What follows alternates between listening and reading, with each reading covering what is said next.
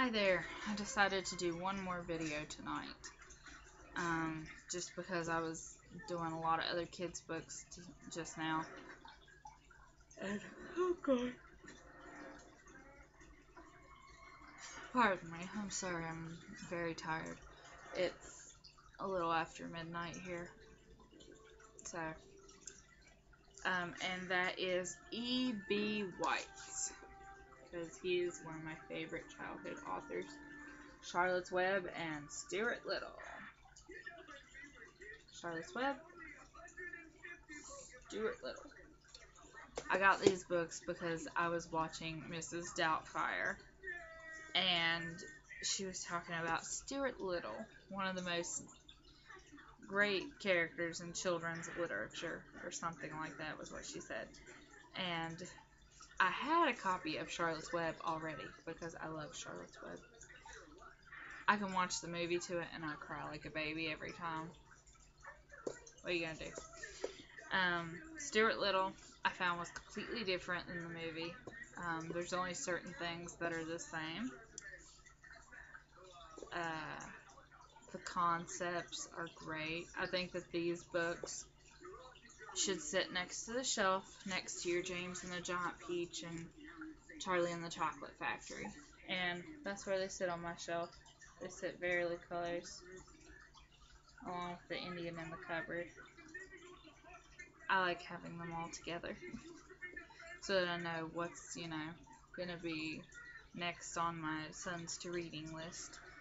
Um, I think that every parent should own a copy because I think they have great moral values, which is seriously lacking in today's society. So, you know, turn to some of the older books. Clifford's great for teaching moral values. Um, E.B. White, um, Indian in the Cupboard. Um,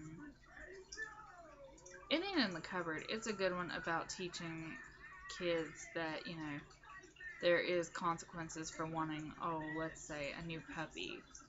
Because, as we know, the character tries to take care of, you know, the Indian, and he finds out that it's a lot harder than what he thought.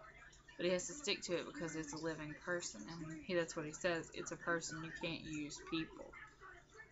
Um, Stuart Little and the Charlotte's Web, they teach good morals on friendship and promises made and kept and I think that they're very moral books. I think they're very moral based books. Um, Stuart is a little bit more adventurous than Charlotte's Web, but I think that they're both really good. I would read Charlotte's Web first to your kids and then Stuart Little because Stuart Little jumps around a little bit and Charlotte's Web always takes place in the barn. Um, and just because of their places, you know, that's that's what I would do. Um, but I think that they're excellent books all the way around for children. Um, so get them for your kids, you know, especially if your kids are like close to like the age of like five or six or seven. I would definitely get them Charlotte's Web.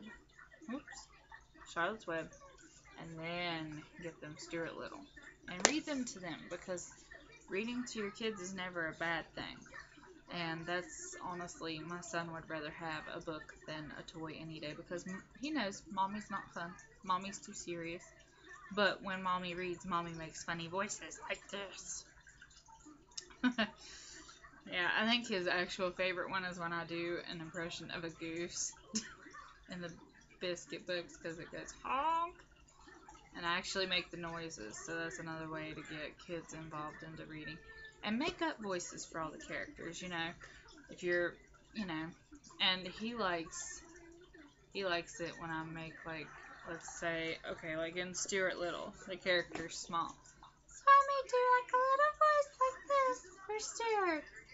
And then Charlotte's Web, I think Charlotte is just sophisticated.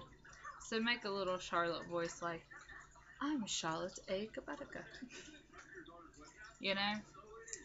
Make voices to read to your kids because books are important now more than ever because kids are expected to know so much before they even go into kindergarten.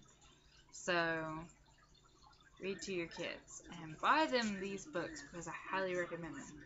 And they're really good books, even if they are a bit old and dated.